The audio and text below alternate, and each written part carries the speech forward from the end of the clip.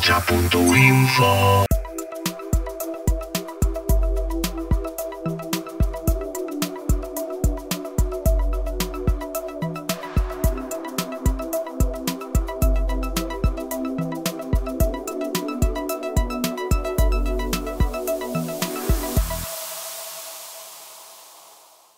Eskolae aurrera. Beste behin ere eskolaeren kontrako sorginaitza hasi da. Oraingoan edukiari ez, baina formari dagokionean omen dago akatsa. Hezkuntza departamentuak hainbat eskolatan ezarri zuen programa eta orain beste hainbatetan jartzea zen helburua. Baina Nafarroako auzitegi nagusiak Hezkuntza departamentuko zuzendari nagusiak onartutako erabakia bertan bera utzi du. Aurretik ere auzi- auzitegira deitu zituzten berdintasunen aldeko programaren erredakzioan aritu zirenak. Lotxagarria da, Nafarroako gobernuari eta hezkuntza departamentuari haua betetzen zaie eskola programaren defentsarekin. Baina benetan ez du behar adinako indarri jartzen, berau behar bezala ezarri dadin.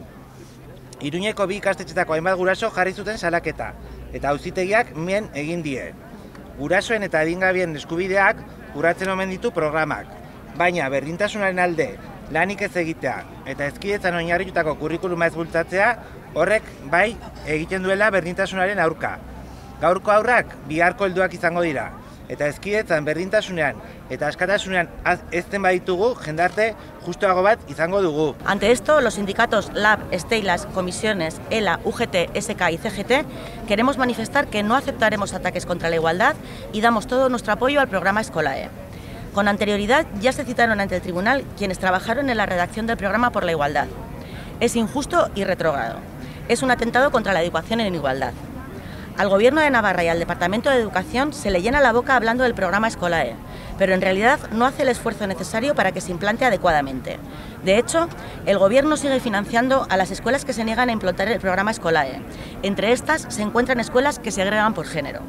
No debería financiarlas.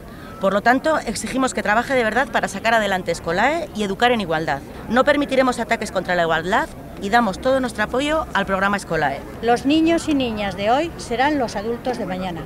Si los criamos en coeducación, en igualdad y en libertad, tendremos una sociedad más justa.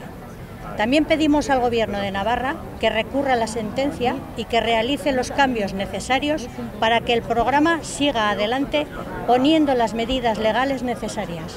Es imprescindible hacer frente a los poderes reaccionarios judiciales, educativos, mediáticos y políticos de Navarra y que el Gobierno de Navarra denuncie firmemente los ataques de la extrema derecha.